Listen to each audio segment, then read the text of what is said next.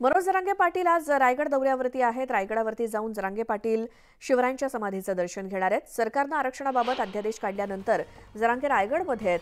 शिवरायांच्या समाधीचं दर्शन घेऊन एकतीस जानेवारीला पाच महिने दोन दिवसांनंतर जरांगे स्वतःच्या घरी देखील जाणार आहेत. ज्या कुणबी नोंदी सापडल्या आहेत किंवा ज्यांच्या नोंदी सापडलेल्या नाहीत अशा सर्वांना प्रमाणपत्र देण्याचे अध्यादेश सरकारनं काढलाय.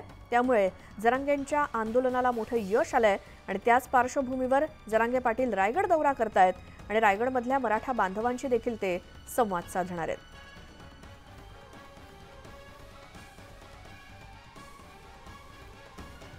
तर मनोज जरांगेंच्या